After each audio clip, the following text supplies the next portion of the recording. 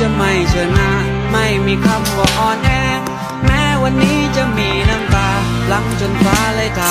这种人工采摘的榴莲啊，反而是价格比较便宜的。树上采摘是泰国榴莲的采收方式，在榴莲七八分熟的时候就摘起来，冷冻后运往世界各地，然后在当地催熟再进行售卖。所以泰国榴莲普遍是气味不浓，价格不贵，适合新手入门。而高级榴莲爱好者的天堂是马来西亚，马来西亚榴莲严禁人工采摘， 必须等榴莲完全成熟后自然掉落，不需要人工催熟。所以马来西亚榴莲会更香、更甜，也更贵。价格最贵的猫山王榴莲和黑刺榴莲都产自马来西亚。当然，泰国榴莲便宜，那只是相对来说，榴莲总体都很贵，毕竟是人家拿命换来的，大家且吃且珍惜。